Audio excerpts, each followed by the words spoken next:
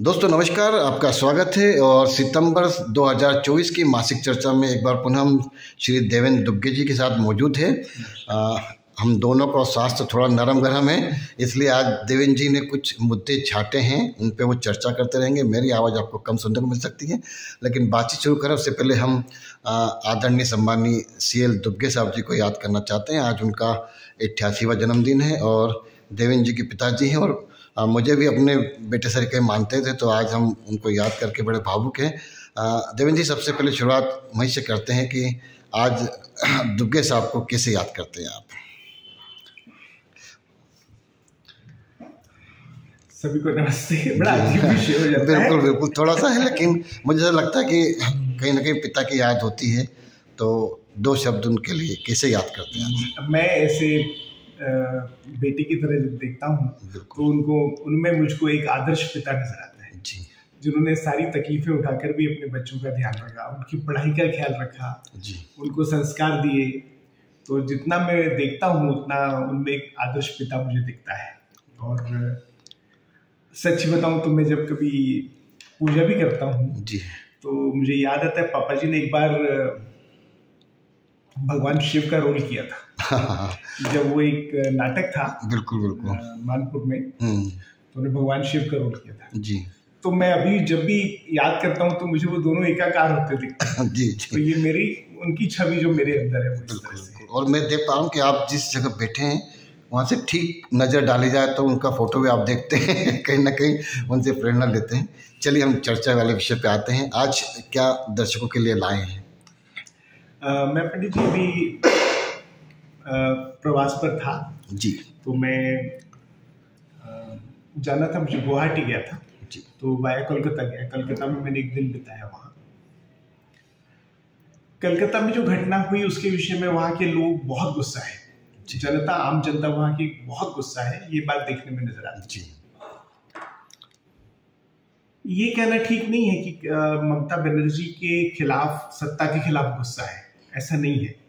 पर वो आक्रोश घटना के प्रति है और उस घटना में ममता जी की जो प्रतिक्रिया थी उसके विरोध में अगर ममता बनर्जी उस समय इसको ठीक से अपनी रिएक्शन देती ऐसा नहीं लगता कि वो आरोपियों के साथ खड़ी हैं। जी, जी। उनको बचाने का प्रयास करती नज़र नहीं आती तो ये समस्या होती ही नहीं इतनी बड़ी। बिल्कुल बिल्कुल।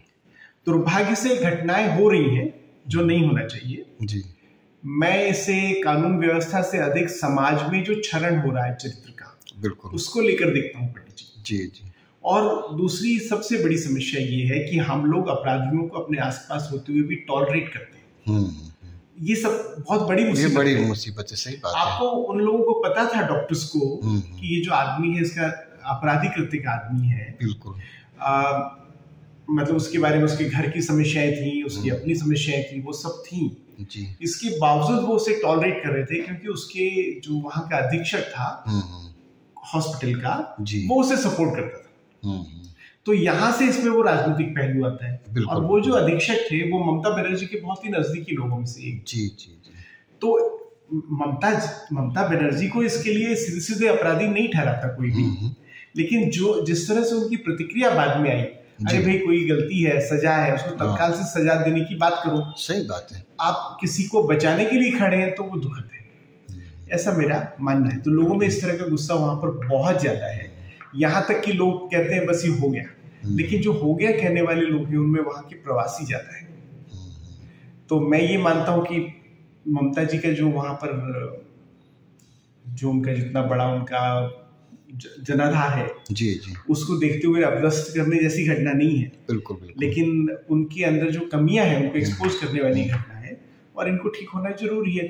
हर जगह है पूरे देश में पंडित जी कई जगह कुछ घटनाएँ होती हैं। हम्म। मैं फिर से वही कहता हूँ कि सब जगह घटनाएँ दुर्भाग्य से हो रही है जो होनी नहीं चाहिए। सही और उसके बाद में आपकी रिएक्शन क्या होती है? आपकी प्रतिक्रिया क्या होती है? बिल्कुल। प्रशासन की प्रतिक्रिया क्या होती है? वो बड़ा महत्वपूर्ण है। जब भी प्रशासन और शासन मतलब हम्म। कभी कभी तो मंत्री लोग तक किसी के बचाव में आ जाते हैं हम्म, या गिरफ़्तार करने की मांग करते हैं तो वो दुखद हो जाता है। बिल्कुल और मुझे लगता है कि कहीं ना कहीं भारत की राष्ट्रपति यदि चिंता कर रही है जता रही है तो कहीं ना कहीं मामला गंभीर हो जाता है। और एक चीज़ मैं आपसे चर्चा भी कर रहा था कि भारत के राज्यों में शायद इससे पहले मुख्यमंत्री मुझे देखने में आई है या देखने में आए हैं कि जो प्रोटेस्ट के अगेंस्ट प्रोटेस्ट करते हैं ये भी कुछ आ, हाँ, नहीं ये आम आदमी पार्टी भी इसी तरह से काम करती है। बिल्कुल उन्होंने भी इस तरह से कुछ काम किए। लेकिन ये बात सच कही आपने ममता बनर्जी देखिए इनको जनता के जुड़े हुए लोग हैं। उन्हें जनता के बीच अपने मुद्दे हर दिन रखने होते हैं। जी जी। अभी आपको ये बताऊँ कि जिस तरह से उनके वक्तव्य आए बाद में जिसमें। उन्होंने कहा कि पूरे देश में या दिल्ली में या यूपी में वो आग लगाने की तैयारी है आग लगा सकती है ये भी चलेगा वो भी चलेगा इस तरह के वक्तव्य देना तो आग में घी डालने का काम करने जैसा है। बिल्कुल बिल्कुल। तो ऐसा उन्हें नहीं करना चाहिए हम्म। किसी भी हाल में क्योंकि ये उचित बात करने का तरीका भी उचित नहीं है। बिल्कुल। अभी मैं देख रहा हूँ कि कलकत्ता में जहाँ मैंने देखा उन्होंने हर नुक्कड़ कॉर्नर पे टीएमसी हम्म। वाले बैठ के ले रहे हैं मीटिंग्स कर रहे हैं दिन भर मीटिंग कर रहे हैं हम्म। और जनता को उनका पक्ष रखने की कोशिश कर रहे हैं जनता के बीच में। कोई बात नहीं लोकतंत्र में ये सब करना ही चाहिए उनका भी हक है। पर एट द सेम टाइम जब भी आप कुछ कहते हैं तो संवेदनशील मामलों में अपनी टिप्पणी बहुत मायने रखती है। इसका ध्यान रखना चाहिए जितने उच्च पद पे कोई रहता है उसका उतना बड़ा प्रभाव होता है। चलिए हम उम्मीद करते कहीं ना कहीं हाँ। न्याय मिलेगा। इसी से एक और बात याद आती है बांग्लादेश वहीं पास लगा हुआ है। बांग्लादेश में भी बहुत सारे परिवर्तन आए। आपने तो देखा ही है कि वहाँ पर एक चुनी हुई सरकार बिल्कुल। को अपदस्त किया गया। जी जी। चुनी हुई सरकार की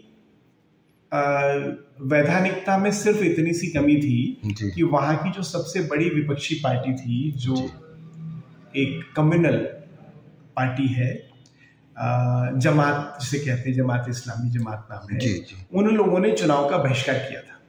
तो सिर्फ़ इसलिए कि उन्होंने जमात ने चुनाव का बहिष्कार किया था विपक्ष के लोग उनकी सरकार को वैध नहीं मानते थे। हम्म, हम्म, हम्म। अब देखिए उन्होंने इसका जो तरीका है बदला लेने का विपक्ष को पद से हटाने का जो उनका तरीका था वो एकदम अलोकतांत्रिक तरीका है। इसके बावजूद उन्होंने वो अपनाया। जी। आपने रैली निकाली आपने प्रेशर दिया आपने विदेशों की मदद ली अमेरिका ने मदद की पाकिस्तान ने मदद की अब तो उन्होंने पाकिस्तान से हथियार भी खरीदने शुरू कर दिए हैं। और इन सब के चलते बिना गलती के वहाँ के जो स्थानीय हिंदू हैं हिंदू मंदिरों को तोड़ा हिंदुओं को परेशान किया हिंदुओं को भी मारा दूसरों को भी मारा ऑफ़ कोर्स लेकिन हिंदुओं को विशेष तौर से परेशान किया क्योंकि उन्हें लगता था कि ये उनके समर्थकों में से एक सही बात है। वैसे भी बांग्लादेश में हिंदू बचे कितने हैं? हम्म, हम्म। या तो भाग गए या फिर उनका धर्म परिवर्तन हो गया। बिल्कुल बिल्कुल। तो इतना कम संख्या में हिंदू वहाँ बचे हैं। बांग्लादेश की जो संस्कृति है पंडित जी वो बंगाल की संस्कृति हम्म, और बंगाल की संस्कृति में सच मानिए जो रविन्द्रनाथ टैगोर जैसे लोगों से जिसको प्रेरणा मिली हो सही बात वो संस्कृति गलत तो हो ही नहीं सकती। बिल्कुल मैं आज भी कहता हूँ कि हमारा बंगाल की पश्चिमी बंगाल की संस्कृति बहुत ही उम्दा है बहुत ही श्रेष्ठ है। इसमें कोई शक नहीं है। जो गड़बड़ियाँ आई हैं वो थोड़ी बहुत राजनीति के चलते हुई है और बांग्लादेश में तो ये बहुत ही बुरे सबसे बुरे स्तर पर पहुँच गया है। उससे प्रेरणा लेकर के भारत के लोगों का ये कहना कि हम दिल्ली में इंडिया में भारत में भी हम बांग्लादेश से हाल करेंगे वो सुनकर के बहुत दुख होता है इसी मसले पर मैंने एक वीडियो भी अभी देखा जिसमें वो टिकैत ने उस दिन कहा Uh, मैं तो उसे डकैत कहता हूँ सॉरी पर टिकेत ने ये कहा राकेश टिकेत ने हाँ, हाँ। कि ये सब तो हम उसी दिन कर देते हम्म, हम्म। वो तो 26 जनवरी थी और ट्रैक्टर हमारे नई दिल्ली की तरफ़ मतलब लाल किले की तरफ़ मुड़ गए। हम्म, अगर ये संसद की तरफ़ गए होते तो ये सब हम उस दिन कर देते। उसने ये भी कहा कि मोदी के क्या है इसको तो हम कभी भी हटा देंगे। ये वो लोग हैं पंडित जी हम लोग इतने बुरे उससे गुजर चुके हैं। भारत के राजीव गांधी का असेसिनेशन हुआ इंदिरा गांधी का असेसिनेशन हुआ दो दो हमारे प्रधानमंत्री इस तरह से गए हैं। हम्म। उसके बावजूद हम लोग सबक नहीं लेना चाहते हैं तो इसको हम क्या कहें? और बीच में आपको टोकरा मुझे ऐसा लगता है कि पहले छात्र शक्ति का उपयोग बदलाव के लिए होता था। हमारे जयप्रकाश नारायण रहे हैं, लोहिया रहे उन्होंने राज्य सरकार को बदलने के लिए, केंद्र सरकार चुनौती देने के लिए करा, लेकिन अंतर्राष्ट्रीय स्तर पर तख्ता पलट में छात्रों का उपयोग मेरे ख्याल शायद बांग्लादेश में इस पर भी आपने बोर करा होगा कि ये नई कुछ पद्धति आ रही है और खासकर एशिया या अपन जहाँ बात करते हैं, जहाँ फ्रांस में भी देख रहे हैं, छात्रों को बुलाया जाता है। ऑस्ट्रेलिया में ये चीज़ हमें देखने में मिली है। छात्र सॉफ्ट कर्नर क्यों हो जाते हैं कहीं कहीं? पंडित जी छात्र जीवन आपने भी जिया है हमने भी जिया है। छात्र जीवन में हमारे पास अपेक्षाओं का ढेर होता है। हमारी उम्मीदें बहुत सारी होती हैं। बहुत जोशीले होते हैं। उस समय हम कोई भी अगर आकर के थोड़ी सी भी बात से हमें समझाए और समझ में आए तो हम उसकी बात के साथ चले जाएँगे। छात्र आंदोलन को सिर्फ़ अभी इस्तेमाल किया ऐसा नहीं है। मैं देख रहा हूँ कि सबसे बड़ा इस्तेमाल तो इसका कम्युनिस्ट लोग करते थे। J N U J N U उसका बड़ा उदाहरण है। हाँ। वो लोग अभी से उन्हें इस तरह से फ़ीड करते हैं उसके बाद में मैदान में ला करके भी करते हैं। जयप्रकाश नारायण का आंदोलन जो शुरू हुआ था उसमें छात्रों की सबसे महत्वपूर्ण भूमिका थी। हम्म। बांग्लादेश में जो अभी हुआ उसकी शुरुआत छात्र आंदोलन से हुई। हम्म। लेकिन अगर आप वहाँ के चित्र दिखेंगे तो आपको पता चलेगा कि प्रदर्शनकारी जो झगड़ा करने पहुँच गए थे उनमें छात्र नहीं थे पंडित जी। छात्र कम थे हम्म। और उपद्रवी ज़्यादा थे। मतलब पेशेवर आदत न अपराधी जिसको कह सकते हैं। तो ये क्या होता है? एक ट्रिगर पॉइंट है। जी जी। उन छात्रों को किसी तरह बरगलाना बहुत आसान होता है हम्म। और इसी के बाद दूसरे लोग आंदोलन को टिक ओवर कर लेते हैं। सही बात है। ये पद्धति हर जगह होती है। जयप्रकाश आंदोलन में भी यही हुआ। हम्म।